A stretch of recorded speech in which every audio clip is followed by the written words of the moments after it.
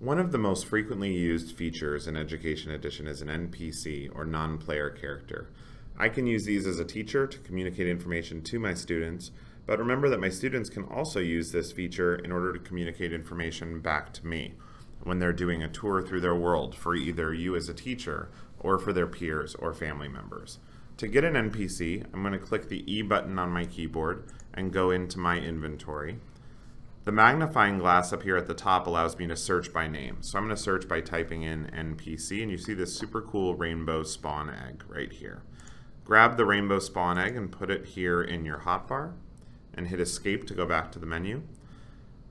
With the egg in your hand, you're going to right click, and it will spawn an NPC right here in front of you with its default settings.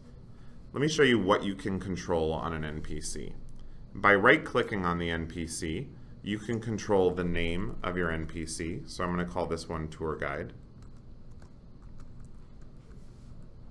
You can also control the dialogue that the NPC will say in kind of a thought bubble look and feel.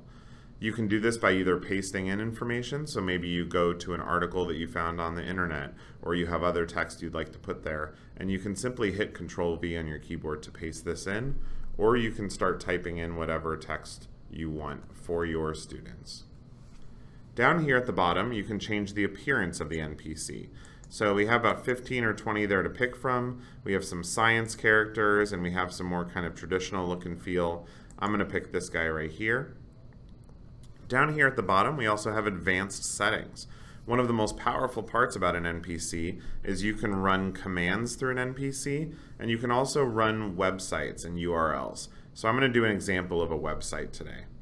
By clicking the Add URL button, I can go up here to where it says URL, and again, I can either paste one in from the internet, or I can type one in for scratch.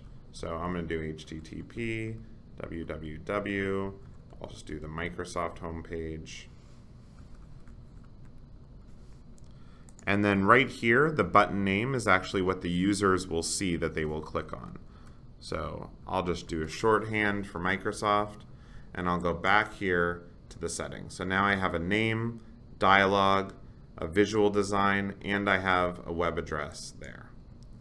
By turning off World Builder mode, and I'm going to do that by hitting slash and typing WB on my keyboard, I can see what other people would see when they tour my world.